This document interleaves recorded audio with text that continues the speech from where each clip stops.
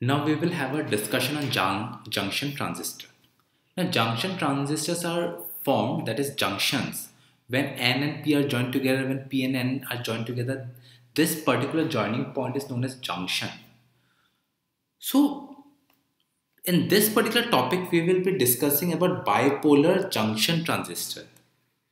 Bipolar junction transistor that is when we take two type of semiconductors and join them in a way such as npn where n and in between we put a p and again we put a n. So this type of joining or pnp if we take a p p type of semiconductor and in the middle if we take n and again in the side if we take p. So these are npn and pnp P type bipolar junction transistor. Now, for this particular case or for this particular syllabus, we will only be concentrating on BJT, that is bipolar junction transistors. So, we had discussed now what is NPN and what is PNP. So now after that, the third important thing that comes into play is the schematic representation of NPN and PNP configuration. Now, if you look closely, this is your N, this is the N. A junction has been created. Say suppose this is your P. N, this is your P, and again N. Here we have taken P, P region to be small. Now what does P actually does? P supplies holes. P supplies holes. That is it is positively charged. So what we are doing is we are taking the quantity of holes to be small or positive charge or quantity of holes to be small. So in a way, this is what is called emitter. This is called base. This is base because it is in between. This is base and this is again collector. So in a BJT junction in a BJT junction you have a emitter. The middle part is a base and the third part is a collector.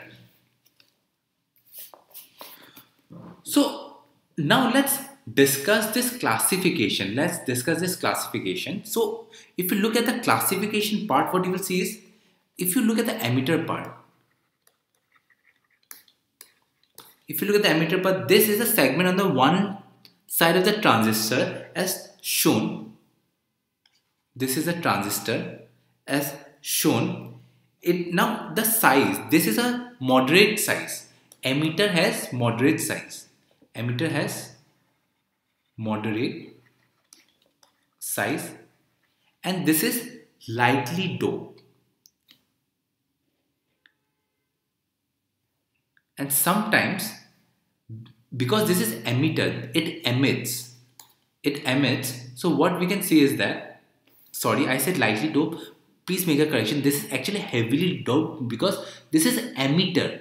Now the word emitter means it emits. So it should give away it should give away electrons. N n should give away electrons. So the emitter has moderate size. The size is moderate and the doping is very high. The doping is very high for emitter.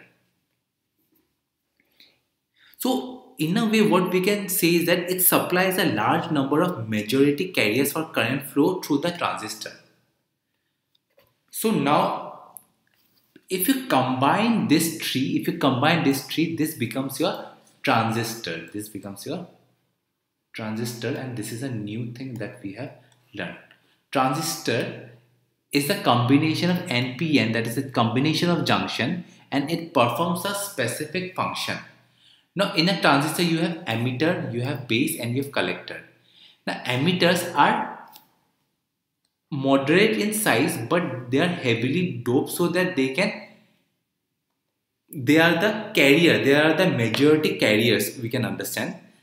And so if they are the majority carriers so that it can give a huge amount of current so that current flow through the transistor so that it can carry current through the transistor through the transistor now if a current has been supplied at this point so in order to pass it through the transistor the emitter should be heavily doped. Only then current will pass. So this was a function of emitter. Now let's have a look at what exactly is the characteristic of base. Now base are quite simple. When we had this we always have this particular structure whether this be NPN or PNP. So when you talk about the base, now this is the central segment. It is the middle part of the, sorry, let me write this in a proper way. This is the central segment. Central segment. It is very small in size.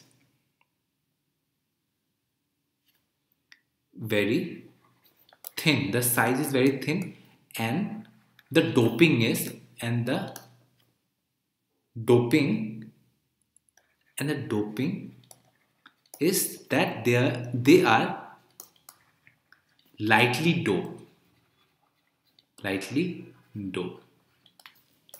So this is the characteristic of base. In a transistor in a npn or pnp transistors the emitter is heavily doped and moderate size. The base is thin and it is lightly doped. Now let's have a look as to a collector. Collector. So by collector you mean something which collects.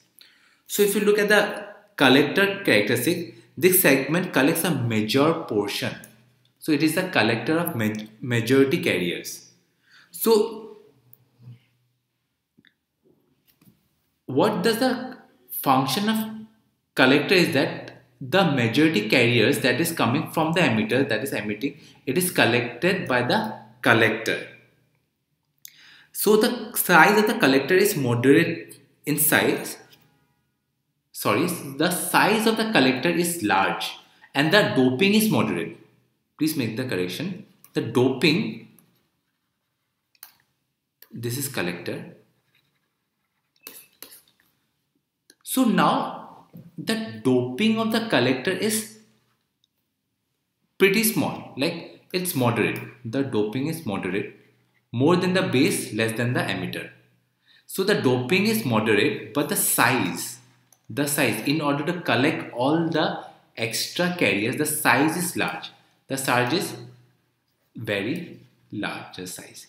So this is the characteristics of your collector. So now we know what is emitter, what is base, what is collector in a PNP or NPN transistor.